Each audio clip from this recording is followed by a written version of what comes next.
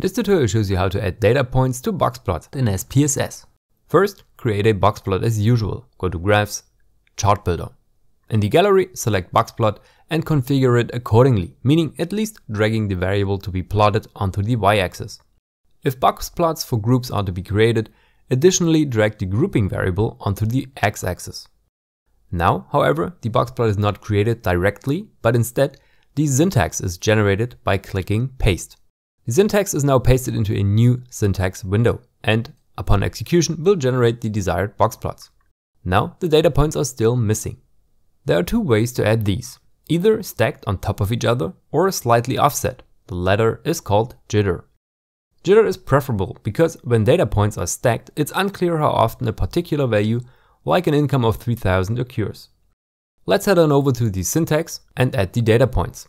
Start with a new line right before the syntax ends. You will start with element, then comes point or point dot dodge dot symmetric. As the command dodge indicates, this is the jitter option. You will now open a parenthesis and insert position, followed by another parenthesis.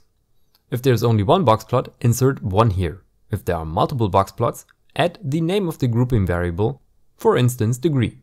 Now add the small multiplication sign and then the name of the variable plotted on the y-axis. Here it is income. Finally, close the parentheses as needed. You can now run the syntax and you will get a box plot diagram with data points. The individual data points can and should be formatted. For example, they can be slightly enlarged and adjusted in color depending on what looks best visually.